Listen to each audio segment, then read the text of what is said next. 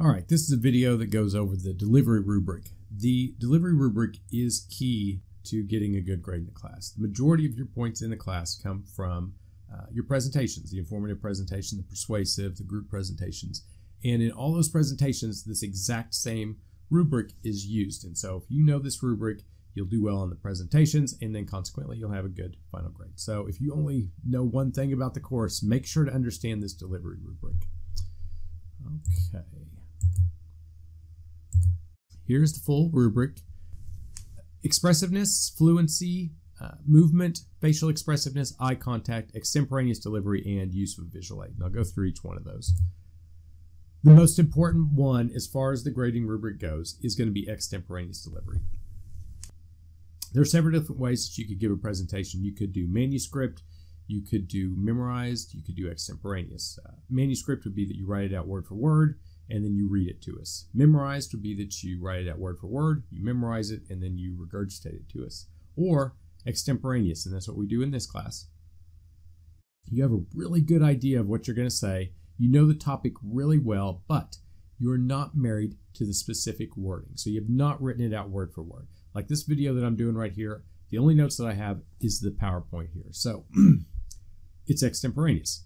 There are positives and negatives to going with an extemporaneous style. If you go with a manuscript style, your fluency should be really good because you're just reading it to us. With extemporaneous, you can lose some points on the fluency uh, because you don't have it written out word for word. Uh, and uh, like myself, for example, I will have some fluency issues in this video because I'm going completely extemporaneous. But that's fine because the, one of the positives to going extemporaneous is that it seems more authentic. It seems more genuine when you have, you know, some ums here, when you have mispronunciation here. It just seems more genuine, authentic. So there are positives, negatives to extemporaneous, but it doesn't matter as far as the class goes. You do want to do extemporaneous. The way it's worded is spoke extemporaneously, naturally, conversationally. That's another good way to put it. That it's like you're having a conversation with someone. If you write out word for word, you're really speaking at them. But if you uh, incorporate kind of an extemporaneous style, it seems more genuine, authentic, like you're actually trying to connect with the person, which is what you want to do in your presentations. Okay, so extemporaneous language or delivery is the first part. Expressiveness, it goes kind of hand in hand with it.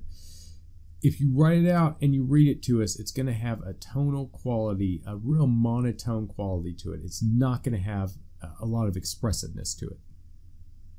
With the expressiveness, that you have sufficient volume, uh, varied rate, varied pitch, that you kind of go up and down, that you change the timing of it. Pleasant vocal quality also goes along with this. Again, if you're going extemporaneous, you're probably going to have some of those just naturally because when we speak, this is how we speak. But again, if you write it out word for word, you might lose out on the varied pitch, the varied rate. So definitely keep that in mind. The next one is eye contact. So if we were doing this in person, basically you'd want to look around the room and you'd want to look at the different students and try to make eye contact with as many people as possible. If you have issues with that, you could maybe just slightly look over everyone's head. For this class, uh, or for this version of the class that we're doing right now, it's going to be an online version. So when you do your presentations, you'll be looking at the camera which I know is not the same as making eye contact with people. But we still want to try to um, incorporate the idea that you're looking at a specific area, a specific like person. You could think of it, the camera as a person. Um, what you don't want to do is again write it out word for word, and you're just reading it to us. And some people they'll write it out and they'll have it on the small part of their computer, but you see their eyes just the entire time, and it's like, oh, this is so boring. So try to make eye contact with the camera for the online presentations. Movement. Basically, that you have nonverbals that match up with your verbal message. That's one way of doing movement. So if you're like, I have three main points, then you put up three fingers, that'll work.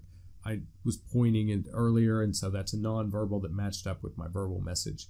Um, and I also use my hands a little bit to speak. You do want to do that some. You don't want to overdo it but you do want to have some movement incorporated into your presentation. With the online uh, presentations, something that comes up a lot is people will get the camera too close to their face, and so you'll be this far away, and so we can't see your hands at all. and you won't have any movement at all in the presentation. So make sure to have the camera far enough back like I do here that I can see my hands. That's for movement. Fluency. This is what a lot of people think of when they think of giving a presentation. I touched on it earlier. When you go completely extemporaneous, the idea that you're going to have a little bit of fluency issues, it's a possibility. It definitely is for me. So the point of this, though, is that you would rather have some small fluency issues and seem genuine and authentic compared to um, reading it all word for word and having perfect fluency. You'd rather be more authentic than have perfect fluency. That's one way of putting it. So if you make some mistakes, don't worry about it. Just move on. It's only one criteria out of the seven different ones, fluency is. On facial expressiveness. Okay, so this was kind of weird. You know what it looks like when it's done right. For example, right there, my eyes kind of popped up. You saw my eyebrows go up. That's facial expressiveness, and you would like to have that in your presentation. Maybe a smile here and there. Some people, they'll just be dead faced the entire presentation, and you don't want that. All that being said, I don't take off points on facial expressiveness because it feels like it could be misconstrued. And so if I give you like a two on facial expressiveness, it's kind of like I'm giving you a two on your face, if that makes sense. And so it seems a little weird. I generally don't take off on facial expressiveness but you do know what it looks like when it's done correctly. And if you could try to incorporate things like uh, raising your eyebrows, smiling, things of that nature, um, to add that level of expressiveness, it really can, helps you connect with the audience. Uh, like her or dislike her, she has really good facial expressiveness, as you'll see here.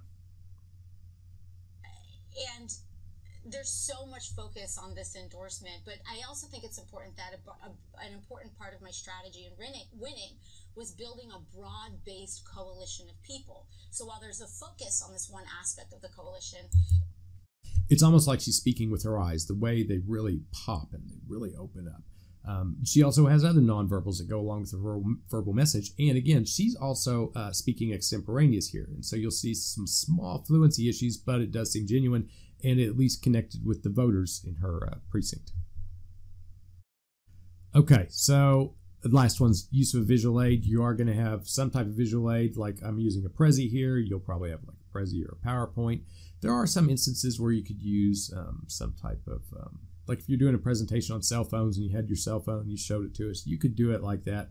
But for most of you, you'll probably use a, um, a PowerPoint. Some people have done presentations in, class. They've done presentations with animals, like I've seen a hedgehog before.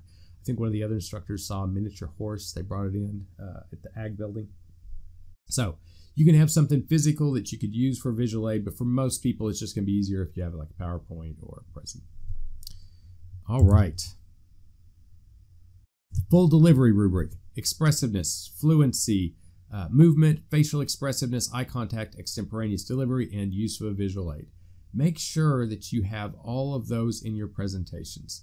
Um, some people they won't have a visual aid or they'll have the camera too close and so they don't have any movement. They'll write out the entire thing and it's like wow you didn't you didn't understand the rubric at all. So make sure that you understand this. If you don't understand anything that i went over in this video please go over to the discussions. There's a section for questions post one there and I'll get back to you probably within about 24 hours or so. Thanks for watching.